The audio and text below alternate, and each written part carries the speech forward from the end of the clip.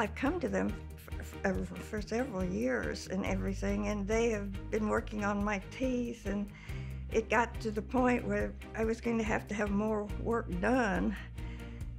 And I don't know exactly why I decided to do this, but I had a tooth that always stuck out, and I didn't like it.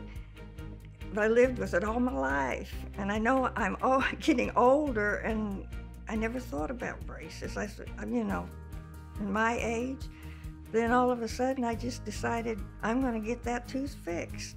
And I thought that was going to be the only tooth. I didn't realize when you get started, they do all of them. but it has been an experience, and she's been very good at it.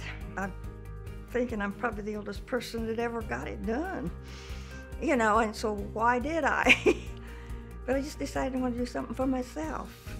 I wanted to, I wanted to have some years left of my life when I smile that I didn't have that tooth sticking out, which bothered me more than probably anybody else noticed it. But that's the way it goes. Dr. Perkins is very outgoing and she's very good at what she does. I'm pleased with that, and I, I would recommend her to anybody, really.